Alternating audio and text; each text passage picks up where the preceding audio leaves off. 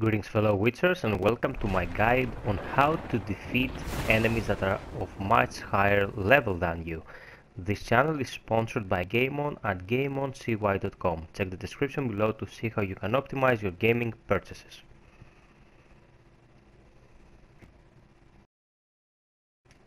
First and foremost, we're gonna start with the Red Skull variant of enemies. That is, an enemy that is of 6 or more levels stronger than you.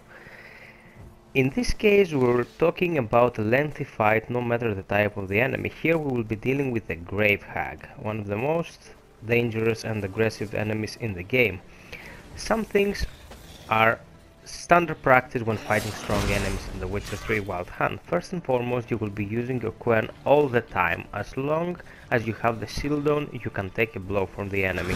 If you don't have it on and you get comboed you will die. As you saw here, I just took one hit from this enemy and was at 35 to 40% health. So have the Quen on all the time and go on the offensive only when you see an opening and the enemy has botched his, her or its attack.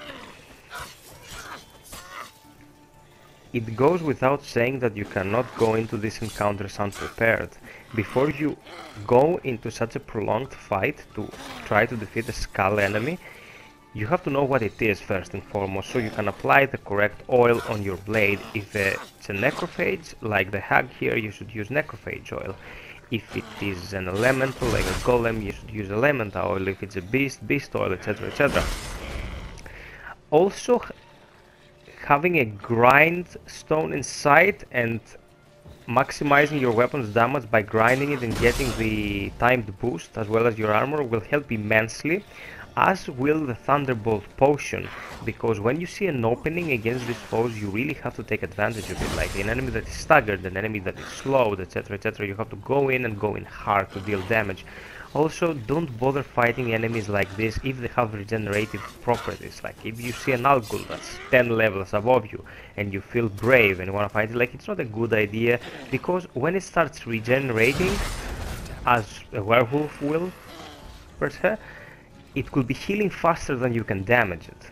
And because you can't really go gung-ho on these monsters and just keep spamming attacks, it's gonna be a lose-lose situation for you. So anything that's not got auto-regen, it's a go. Anything that got auto-regen, it's a no-no.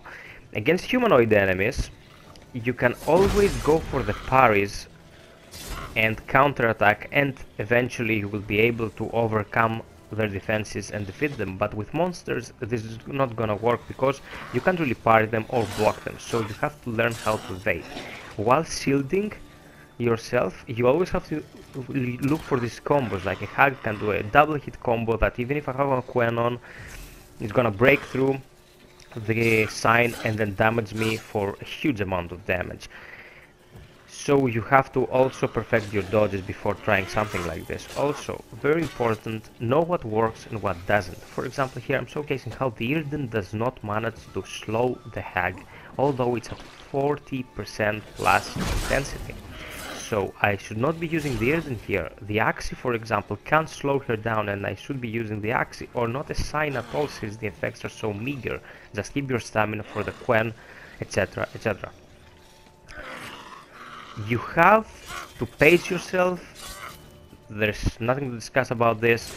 It will take a long time and you have to be patient you have to be careful. Even if the enemy is left with a meager amount of health it can take you out in a couple of blows. You get punished here by the game actually for fighting enemies so much stronger than you. You should be dealing more damage, you should be taking far less damage, but because it's a skull enemy, it's a designation, it's pretty much a showcase of the game's mechanic saying no don't go you'll get slaughtered. It can be done but it's gonna be very challenging and very taxing. And if you fail you'll have to start all over again. Here the battle took approximately 5 minutes and it was a non-stop onslaught on both sides. If you don't wanna get involved in something that is early on don't attempt it. Don't go half-hearted in this because you're gonna suffer humiliation and you're gonna just get tired and get bored as you can see here, I managed to do it, but it took quite a bit of time. Preparation is key and you should have the best ammo available for your level. Here I'm level 15 and the enemy was level 28, so it's almost double my level. My mutagens are the best I could have at this point, plus 40% for the signs and 28% for my blows from the red mutagen. And my gear was the 14 level best case scenario, not the 15 because I had just leveled because I, before I hit this. Have the best gear you have, be prepared with oils, potions, bombs, whatever is at hand. It is very difficult, but it can be done nonetheless. Defeating these enemies of 6 levels or more above you, it's possible, but it's very, very difficult. Also, you might not want to try to do this against flying foes apart from the regenerating ones because they can be pretty tricky. Another scenario is fighting enemies that are really tough but don't des get designated as skull enemies. Here we will be fighting an Elementa, a golem per se. These enemies are very hardy by nature, like an Elementa is pretty much armor on legs. So you might wanna go for some armor piercing on your wound when you're fighting these guys. Here the enemy is level 20, just 5 levels above me, he's at the threshold so I don't get a skull, but he is much stronger than me. You can see though that the Yrden affects it immensely, and this is because it's not designated as a skull. So use the Yrden when fighting enemies that are much stronger than you and can take a lot of punishment. Just to slow their advance. It should also be stated that an enemy that is strong but slow can much more easily be tackled even if you're under leveled just because if you know how to dodge they're never gonna land a blow. Or they're gonna land a blow then you can retreat for a bit heal yourself recast Quen go in there and damage them again very important when fighting enemies that are of this level of durability is to know when to go in and go in as hard as possible. In this showcase I did have a Thunderbolt on me and this was due to the fact that I fought it just a bit after the Haga showcase two minutes ago but I did have my Elementa oil on and it made a huge difference.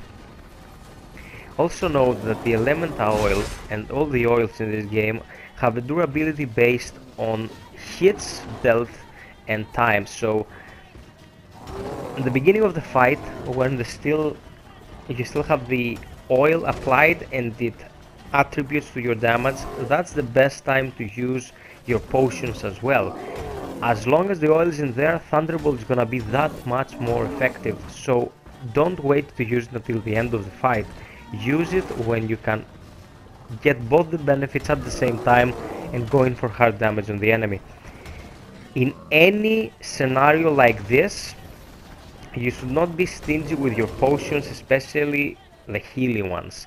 You get a swallow as soon as you get damaged, even by a meager amount. The psychological effect that these enemies cause to you is very observable and I'm gonna explain what I mean. Even if you manage to overtake them and get them to low health and you start feeling confident, you might lose losing such a fight that takes such a long time is gonna tire you, it's, it's gonna make you angry, you're gonna get annoyed, and the next time you try it, you might be just a tad more aggressive, more careless, and lose again, and this can go on forever. So, it's better to waste the potion to heal a little bit and then survive a hit and be done with the fight and get your loot and be on your way than to just try to be very economical with your supplies and get destroyed a couple of times and then have to take a break before you can try again because you will be oozing grades out of your ears. So pace yourself, use what you need to use to be successful. Don't overdo it, but don't be stingy either. In Deathmarch especially, you can't be stingy with the consumables because every fight is a battle for survival if you try to do stuff like this in The Witcher 3 Wild Hunt, fighting enemies that are above your level or skull enemies, etc, etc, you have to go all out on them. As careful as possible, as precise as possible, and as well prepared as possible. Oils, grinding your swords, preparing your armor, getting your potions ready, etc, etc. Difference between this enemy and the hag before it is that since it is not a skull variant, it can be affected by your glyphs. Your glyphs should always be utilized, uh, I mean your sign, sorry, to the best possible effect. A third case we should consider when doing this is enemies that are easily afflicted by crowd control abilities. Here I'm casting Axii on the Cyclops and start butchering him so he really doesn't even retaliate. He has a ton of health, he hits me when he comes back to his, senses. I recast Axii, recast my Quen and keep butchering him. Humanoids or human-minded enemies like this that can be charmed can be a breeze even if they're of much higher level than you. So, as I stated in the first part of the vid, always check what works and what doesn't and utilize what works in the best possible way.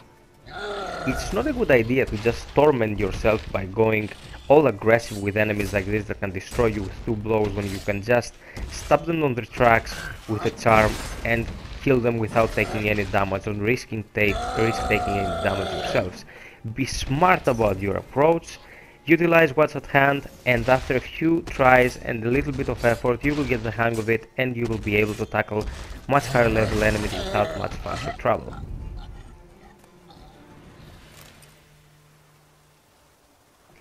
So this is it guys, I hope you found it useful. The Witcher 3 Wild Hunt guides that I'm making are promoted through Fextralife and Fextralife.com, your best bet for reliable info on The Witcher 3 Wild Hunt. Check the description below. If you found this useful, don't forget to sub, like and share it. And until next time, be well, stay frosty and always strive for perfection. Cheers!